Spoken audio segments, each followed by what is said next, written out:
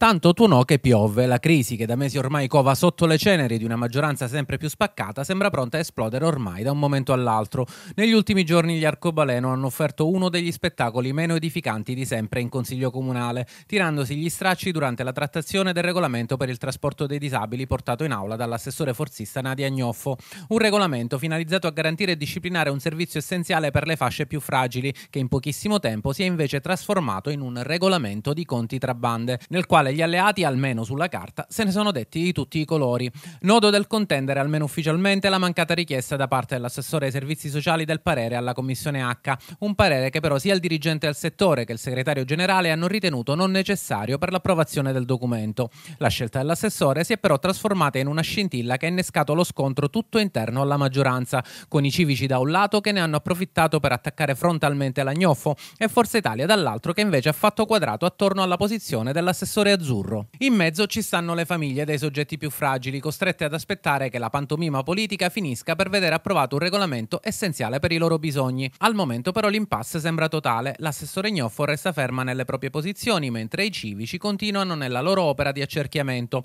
In tutto questo il sindaco Lucio Greco, che finora aveva temporeggiato senza prendere alcuna posizione, nella serata di domenica rompe gli indugi e comunica che sarà lui stesso a richiedere il parere della commissione per mettere fine allo scontro. Secondo il primo cittadino non è il momento momento di arroccarsi nelle proprie convinzioni e di manifestare azioni bellicose, un segnale probabilmente rivolto proprio a Forza Italia che ieri ha difeso il regolamento e che pare pronta a lasciare i progreco se l'atto venisse stoppato o bocciato. Ma se l'intenzione del primo cittadino era quella di calmare gli animi, con questo gesto sembra che abbia ottenuto l'effetto opposto. La sensazione che è arrivata agli alleati è che il sindaco abbia di fatto commissariato l'assessore Gnoffo, schierandosi con l'ala civica della sua maggioranza, una scelta che di fatto non finirà di certo senza conseguenze. Secondo rumors che arrivano dalla segreteria di di Forza Italia, l'assessore Gnoffo sarebbe pronto a rassegnare le dimissioni e il partito la seguirebbe, mettendo fine all'alleanza tra gli azzurri e Greco. Per il sindaco sarebbe l'ennesima defezione di un partito importante della sua maggioranza, resa ancora più pesante proprio dal recente endorsement che Greco aveva fatto nei confronti del forzista Renato Schifani, oggi presidente della regione. Con Forza Italia che passerebbe all'opposizione, Greco si ritroverebbe con una maggioranza sempre più striminzita, formata esclusivamente dall'area civica, che però è ormai certo non appoggerà un suo eventuale progetto di ricandidatura